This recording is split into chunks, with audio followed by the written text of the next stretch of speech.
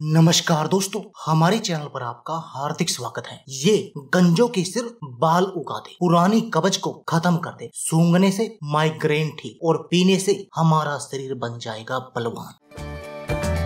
दोस्तों, अगर आपको ये वीडियो पसंद आए तो वीडियो को लाइक करें सब्सक्राइब करें और इस घंटे को बजाय ऑल प्रेस करें हमारी वीडियो सबसे पहले देखने के लिए। दोस्तों, केसर केसर के स्वास्थ्य लाभ बहुत अधिक फ़ायदेमंद होते हैं। केसर हमारे शरीर के लिए बहुत अधिक फ़ायदेमंद होते हैं और बहुत सारी बीमारियों से हमारे शरीर की रक्षा करती हैं। केसर की खुशबू बहुत तेज होती है। केसर को विभिन्न प्रकार के व्यंजनों में डालकर खाया जाता है। भारत में केसर कश्मीर में पैदा होता है। गर्म पानी में डालने पर केसर से गहरा पीला रंग बनाया जाता है। ये त्वचा का रंग उज्जवल करने वाली रक्त शोधक शारीरिक पौष्टिक पर्दर और निमन रक्तचाप को ठीक करने वाले कफ नाशक मन को प्रसन्न करने वाले वाली, रंगीन और सुगंधित करने वाली होती है। तो आइए दोस्तों जानते हैं केसर के चमत्कारिक फायदों के बारे में। अच्छी नींद के लिए अगर नींद न आए या फिर सर्दी लग गई हो तो रात्रि में एक गिलास दूध में एक चुटकी केसर और एक चम्मच शहद डालकर यदि मरीज़ को पिलाया जाए तो उसे बहुत अच्छी नींद आती है। पेट के रोग, पेट से संबंधित बीमारियों के इलाज में केसर बहुत अधिक फ़ायदेमंद है।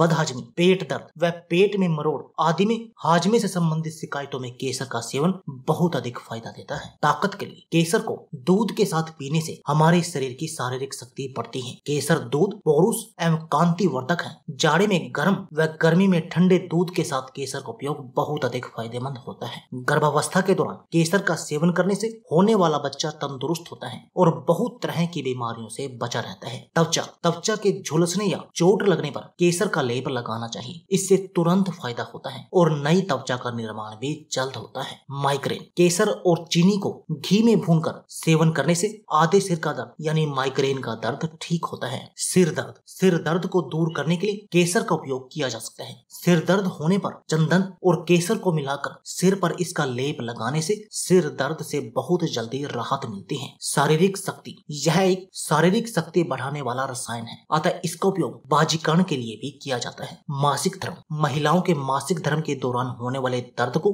दूर करने के लिए दो दो रत्ती केसर, दूध में खोलकर दिन में तीन बार देना बहुत अधिक फ़ायदेमंद होता है। गंजापन, बाल झड़ना और रूसी। गंजे लोगों के लिए तो यह संजीवनी बूटी की तरह काम करती है, जिनके बाल बीच से उड़ रहे हैं। उन्हें थोड़ी सी मुलहटी को दूध में पीस लेना चाहिए। उसके बाद उसमें चुटकी भर केसर डालकर उसका पेस्ट बनाकर सोते समय सिर में लगाने से गंजेपन की समस्या दूर होती है। रूसी की समस्या हो या फिर बाल झड़ रहे हो तो भी ये उपाय बहुत अधिक फ़ायदेमंद है। आँख और मस्तिष्क। चंदन को केसर के साथ घिसकर इसका लेप माथे पर लगाने से सिर, आँख और मस्तिष्क को शीतलता, शांति और ऊर्जा मिलती है। अतिसार। अतिसार में भी केसर बहुत अधिक फ़ायदेमंद है। अतिसार होने पर केसर को जायफल, आम की कुठरी सौंठ को पत्थर पर पानी के साथ घिसकर इसका लेप लगाने से बहुत अधिक फ़ायदा होता है। नक्सीर नाक से खून बहने की समस्या के उपचार के लिए भी केसर बहुत अधिक फ़ायदेमंद है। नक्सीर होने पर चंदन के साथ केसर को मिलाकर लेप लगाइए। नाक से खून बहना बंद हो जाएगा और सिर दर्द भी सही हो जाएगा। सर्दी जुकाम। बच्चों को सर्दी जुकाम हो